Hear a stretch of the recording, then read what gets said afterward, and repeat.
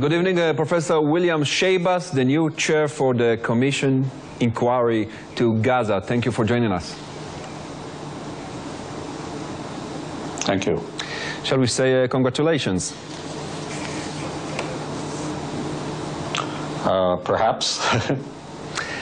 Uh, Mr. Schabas, uh, a year ago you said that your favorite person to stand in front of the International Criminal Court is Prime Minister Netanyahu, not President Assad of Syria, not Hamas leader Khaled Mashal.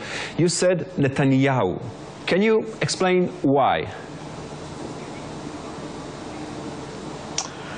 we were having a discussion about the International Criminal Court and the uh, fa fact that the International Criminal Court had focused all of its attention on African countries.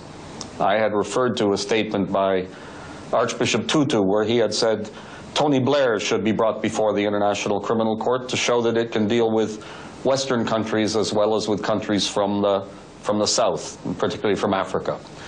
And so I said, well, my favorite would be Netanyahu.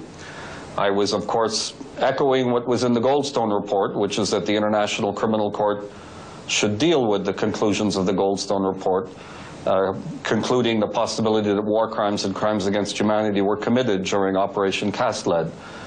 But as you know, the International Criminal Court never did address those matters. So that was the context of my comment. Professor Schabas, you also said that you think President Peres should uh, stand for a trial in front of the ICC. So you, as a professor for international law, would you recommend your client, after hearing such comments, to cooperate with such an investigation? I think this is a, a, great exaggeration of some of the statements. I expressed opinions about, uh, about political leaders in Israel in the past. Is there a human being in Israel who's never expressed political opinions about leaders in Israel? What someone who sits in a commission or as a judge has to be able to do is to put these things behind them and start fresh and this is, of course, what I intend to do. Professor Schabas, do you plan to investigate uh, Hamas crimes as well? Are you really able to investigate a terror organization who threatened his own people? I cannot tell you what the Commission is going to uh, do in terms of interpreting its mandate because I'm only one member and I haven't had a meeting with the other commissioners. We will have to agree on the interpretation. By the way, uh, do you consider Hamas uh, a terror organization?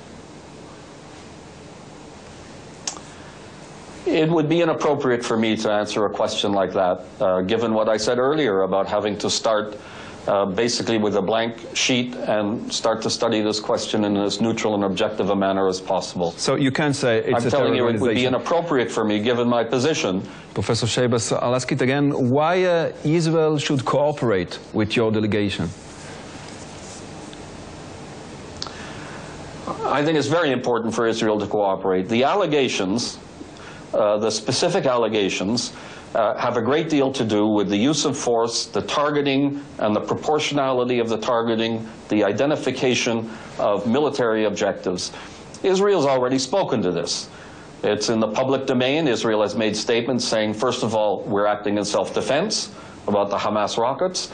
And when we uh, use force in Gaza, Israel's position is that it is proportionate and that it is not targeting civilians.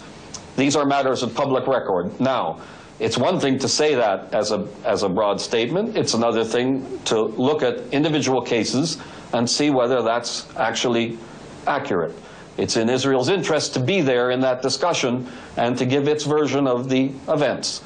If it doesn't, then that leaves a, an unfortunate, one-sided uh, picture of it. The U.S. Army attack in Iraq uh, nowadays, the Russian attack in Chechnya, the NATO forces in uh, Libya, thousands of innocent civilians were killed in these uh, conflicts not a single international investigation. Israel has two in six years. In both cases, Israel acts in self-defense. Isn't it double standards, Professor?